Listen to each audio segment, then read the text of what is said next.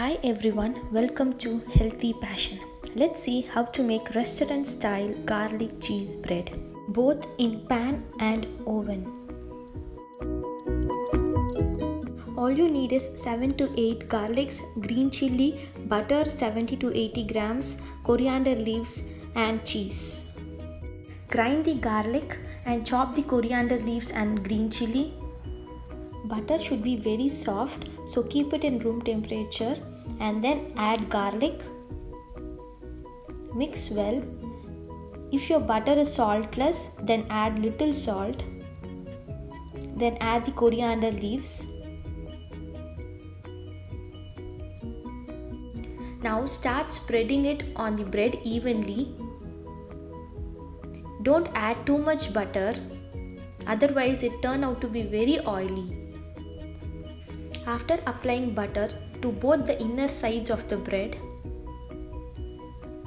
add green chilies,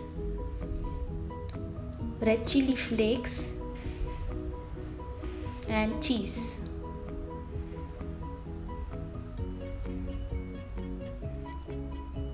Now cover the bread and press gently. Now apply the butter on the third side of the bread and place this side of the bread on the pan. Heat the pan in low flame and it should not be very hot. Only then the cheese will be able to melt and cook well. And then start applying butter on the fourth side. Close and cook it for 2 minutes. Then flip the bread and cook the other side for another 2 minutes. Don't forget you have to cook it in low medium flame. Yes, it's done. Add some oregano and serve the bread.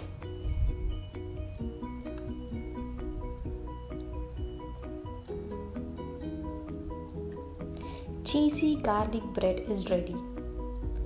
Now let's see how to make it in an oven in the same way, add butter, cheese, and apply butter to all the four sides of the bread before placing it inside the oven. I have preheated my oven at 200 degrees Celsius for around 10 to 15 minutes and then place the tray inside. Now cook it at 220 degrees Celsius for around 2 minutes and then flip the bread and cook the other side for another 3 minutes.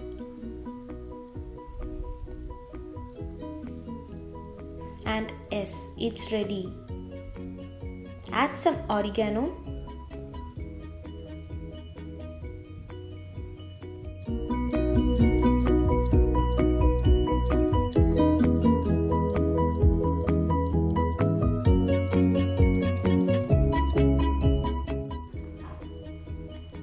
See how cheesy it is? Serve it with sauce. If you like the recipe, subscribe to my channel and hit the bell icon. Thank you and have a nice day from Healthy Passion.